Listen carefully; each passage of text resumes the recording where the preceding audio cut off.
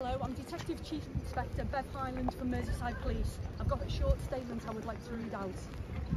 We today welcome the sentence of David Morris to 16 years imprisonment and Julie Morris to 13 years and 4 months, following an extensive investigation by Merseyside Police.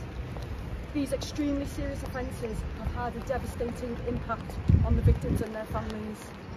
On Thursday, the 2nd of September, Merseyside Police executed a warrant at David Morris's address in Eccleston in St Helens and seized his phone, his computer and other digital equipment.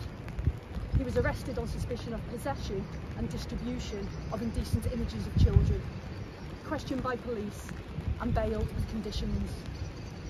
The following day, we received further information from members of the public and swiftly, swiftly responded by attending an address in Wigan. Here officers found the defendants in possession of £10,000 in cash and their camper van packed, with their belongings indicating they were about to abscond. They were arrested and charged the following day with numerous child sexual offences and remanded into custody. This case is made even more concerning by the fact that Julie Morris held a position of trust as a deputy head teacher with the lead for safeguarding. Yet she saw fit in her own personal life to completely disregard all of the responsibilities and the trust that her role held. I would like to thank members of the public who showed great courage in providing information which was key to Merseyside Police convicting them today. I would also like to thank the school where Julie Morris was employed for supporting Merseyside Police with the investigation. They share our shock at the actions of Julie Morris who completely disregarded the school's safeguarding practices. I wish to make it clear that none of the offences Julie Morris has been jailed for today relate to her employment. And finally, I would like to pay tribute to the investigation team who have worked tirelessly to gather the evidence to bring Julie Morris and David Morris to justice. This is the Scarcity Studios YouTube channel. Please don't forget to like, comment, share, and subscribe. And our sponsors at Alpha Claims and Hire Birmingham, the leading and best accident management company. Get a replacement car anywhere in one hour. I really appreciate you joining me today. And this story comes from Liverpool Crown Court. This is every parent's worst nightmare. A head teacher involved in some of the most depraved acts of child abuse that I think I've ever heard of or documented on the channel a deputy head teacher of a primary school has actually been convicted and jailed for helping her partner to get pictures of a young child. They also abused this child. And the head teacher facilitated this. Police found a number of devices at first in David Morris's house. They did not know at the time that he was the partner of the deputy head teacher. And the police actually arrested them as they tried to flee to the Lake District in a camper van with £10,000 in cash. They made full admissions in their interview, and Julie Morris told officers that David Morris had a hold on her, and the primary school deputy head teacher was charged over the rape of a child. And pictures have emerged of her posing as a cheerleader in the school that she worked in. Julie Morris, 44, was charged with aiding and abetting the facilitating of this abuse, and the parents of the school that she worked at, St George's Primary School near Wigan, were shocked upon hearing the news.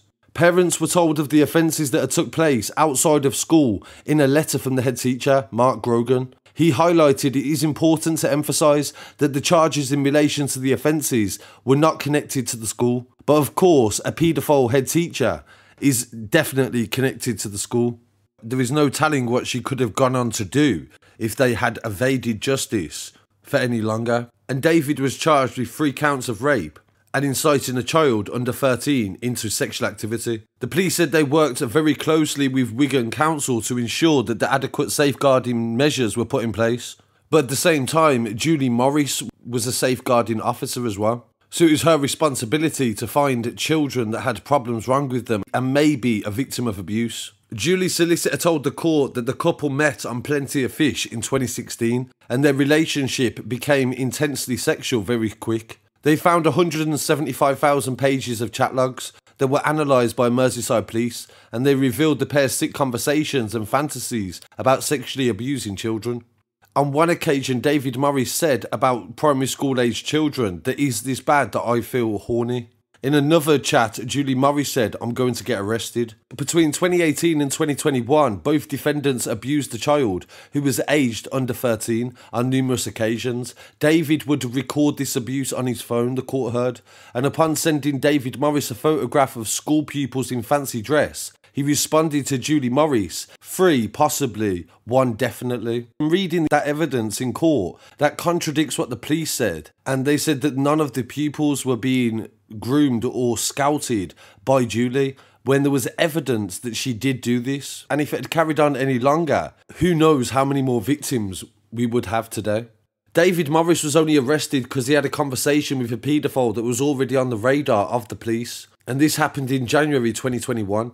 In an impact statement from the victim's dad, he said that my world fell apart when I found out that my daughter was abused. I felt sick to my stomach. My job is to protect her, and I feel that I've failed. I'm totally heartbroken. Julie Morris's defence solicitor, Paul Becker, told the court that they were thoroughly ashamed of their actions and very appalled. Mr. Becker said that their defendant had a difficult childhood and was bullied at school. David Morris had no previous convictions, and Charles Lander told the court that he was genuinely remorseful for the crimes and shown determination to attend every course in prison to address his sexual offending. The judge Andrew Menary handed Julie Morris a custodial sentence of 13 years and 4 months, and David Morris has been jailed for 16 years. Julie and David must serve at least two thirds of their sentence in custody before being considered for parole. At the end of their terms, they'll also be subjected to extended licence periods of four years. And handing out sentences, the judge said these were crimes that were beyond belief, and you showed true human depravity that really knows no depths.